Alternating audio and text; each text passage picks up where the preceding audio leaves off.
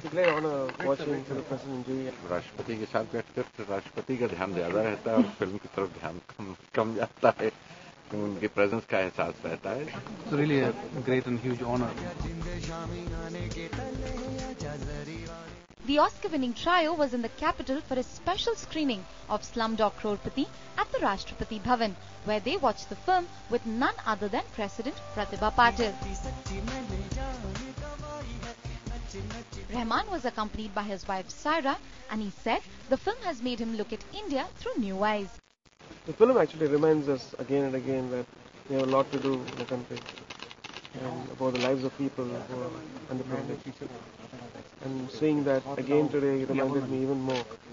And I noticed more things in the film which I didn't notice when scoring. And looks like music runs in this family. His six-year-old son Ameen has already recorded a number for his Hollywood venture Couples Retreat. He's just done some chants in one of the songs. It's a work in progress song. Uh, I don't know whether it's approved or not. But just the whole press has been too excited about it. But it's just a small thing. And I wish him good luck.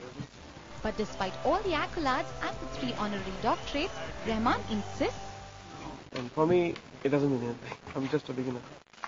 the evening came to a close with the president felicitating Rahman, Gulzar and Pookutty, as well as writer Vikas Swarup. After all, it was his book that inspired the award-winning film. In New Delhi, Lasya Priya Sundaram.